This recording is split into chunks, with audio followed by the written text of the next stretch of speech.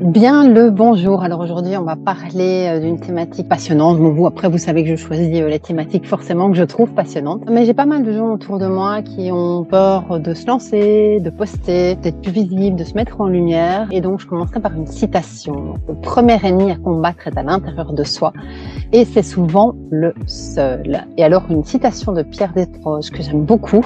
L'ennemi est bête. Il croit que c'est nous l'ennemi alors que c'est lui. Et donc aujourd'hui, on va aborder cette raison pour laquelle je pense vous devriez adorer vos haters. Moi, je connais assez bien les haters puisque j'ai fait des sommets en ligne, plus d'une dizaine. J'ai touché plus ou moins 100 000 personnes, donc des haters, j'en ai eu pléthore, par mail, SMS, Messenger. Je pense que tout ce que je n'ai pas encore eu, c'est le pigeon voyageur. On ressort quand même pas mal de bons des haters. Moi, j'aime bien les appeler les trolls.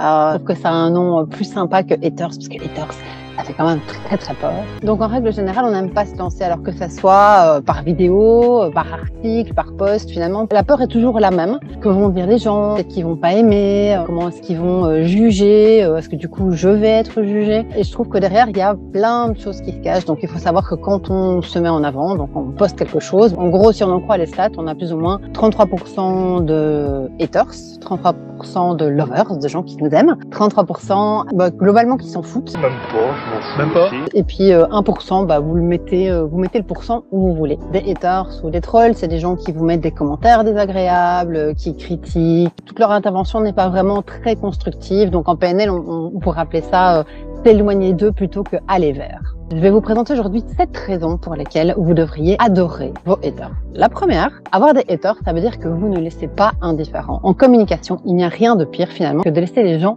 indifférents. Vous postez quelque chose, vous n'avez pas de like, pas de partage, pas de commentaires. C'est comme si vous étiez transparent.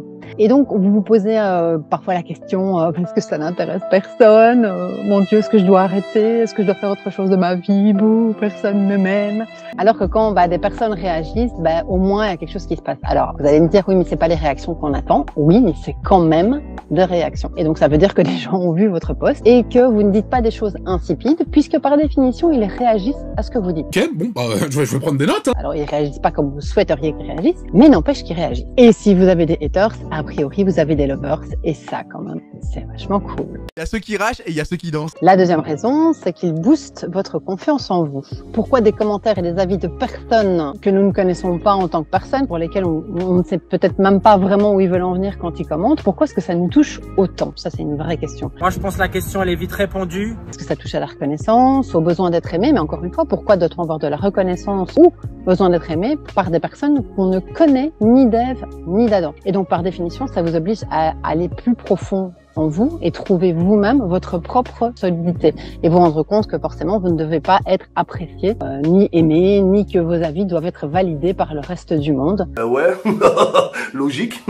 Ces gens-là, bah, ils sont en général, soit dit en passant, souvent des gens qui critiquent pour critiquer, donc c'est pas du tout constructif. Quand on y réfléchit, on devrait peut-être plus les plaindre finalement euh, que les détester ou leur en vouloir. Alors pourquoi est-ce que finalement on se remet en question? Ah, bah, Une fois que vous prenez un peu de hauteur euh, et que vous sortez des émotions, du sentiment d'être agressé, de ne pas comprendre, bah, vous laissez de la place, plus de place pour votre confiance en vous, pour mettre les choses en perspective. Ça rappelle bah, que ce qu'on a posté, on l'a fait aussi comme messager parce qu'on a quelque chose à faire passer, quelque chose qui nous est cher. Et donc, il est moins question de la personne que du message. Il faut donc faire la part des choses entre le message et le messager. Troisième raison, ils boostent votre créativité.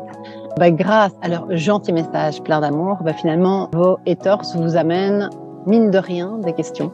Quoi? Des prises de position, des prises de conscience par rapport à des choses que vous, pour lesquelles vous pourriez aller plus loin, des sujets que vous pourriez aborder différemment. Donc c'est pas toujours dénué d'intérêt, c'est pas toujours de la méchanceté gratuite. Il y a vraiment parfois des choses à prendre dans ce qu'il raconte. Mais donc il faut encore une fois distinguer le messager du message. Que disent-ils au fond et est-ce que c'est valide ou pas pour vous en fait? Et puis après vous, vous en faites encore ce que vous voulez. Bon, tu m'as saoulé, donc hibidi hibidi hop, tu ne me vois plus, je te bloque. Quatrième point, il vous confirme que vous faites bouger les lignes. Par définition, si vous engendrez des réactions, c'est que vous faites réfléchir et vous faites bouger les lignes. Et ça, quand même, c'est plutôt sympa. Oui, putain, mais bien sûr, enfin L'objectif, c'est quand même de faire passer un message, de faire réfléchir, de transformer, d'informer, mais quoi qu'il en soit, c'est qu'il y ait une réaction en face, sinon ça n'a aucun intérêt de communiquer. La cinquième, c'est d'affiner votre audience. Donc peut-être que par rapport au retour, vous vous dites, ok, ces personnes-là, c'est peut-être font peut-être pas partie vraiment euh, de, mon, de, mon audience, des gens que je veux toucher. En tout cas, c'est pas forcément le genre de réaction que je souhaite engendrer. Donc est-ce que c'est bien ces personnes-là à qui je dois m'adresser, que mon message est bon par rapport à l'audience que je veux toucher? Et donc vous réfléchissez sur votre audience, vous réfléchissez sur votre avatar, sur vos prospects, et donc vous affinez votre, votre message, vous affinez le contenu, l'information, euh, peut-être le média aussi, à quelque chose qui vous est plus propre ou qui en tout cas par lequel vous avez plus de chances de, trouver, de toucher une audience qui vous est pas favorable plutôt que défavorable. Oh,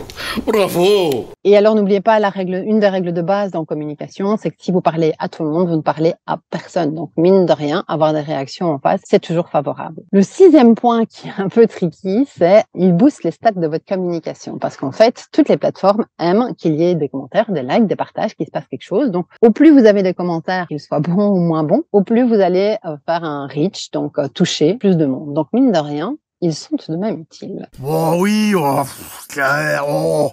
Oui. Et le septième, et qui est un point que je trouve extrêmement goûtu, c'est mieux connaître votre communauté vos, quelque part vos supporters. Parce que souvent, quand on se fait descendre dans une communication, on a quand même des personnes qui font partie de notre communauté, qui nous suivent, etc., qui nous défendent. Parfois, on n'a même pas encore pris connaissance du message. Et ça, c'est quand même extrêmement goûtu. Quand on se dit qu'en communication, on essaye bah, avant tout d'aider, de faire passer des messages, pouvoir se rendre compte vraiment dans la matière qu'il y a des gens qui sont là pour nous, euh, pour nous défendre, euh, alors qu'on finalement n'a rien demandé. Ben, ça fait plaisir. On se dit qu'on a travaillé pour euh, quelque chose de, de sympa, que ça porte ses fruits et qu'on fait partie d'un tout. Il y a un sentiment euh, quelque part euh, d'appartenance. Et ça, mine de rien, bah, dans euh, des cas comme des commentaires, des interactions avec les haters, ça, bah, c'est vraiment des choses qu'on peut voir apparaître et qui, et qui nourrissent tellement finalement.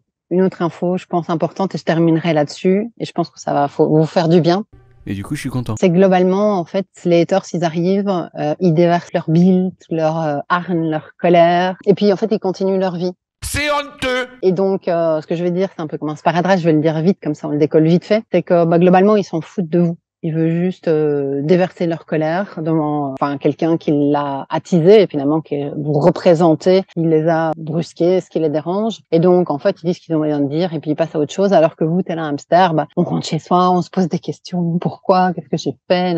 Et alors, en fait, que euh, c'est pas du tout euh, à pour soi. Il y, il y a des choses pour lesquelles vous pouvez forcément y réfléchir, en grandir, mais globalement, ne le transportez pas au-delà euh, de quelques minutes de réflexion. Et by the way, je rappelle qu'il y a quand même aussi des services qui existent qui permettent de gérer les commentaires euh, YouTube, etc., pour que vous ne les voyez même pas. Donc, c'est des services plutôt sympas aussi. Vous allez voir, c'est facile. Donc voilà, j'espère que ça vous aura aidé et que vous vous réjouissez d'avoir plein de haters. Je vous dis à très vite.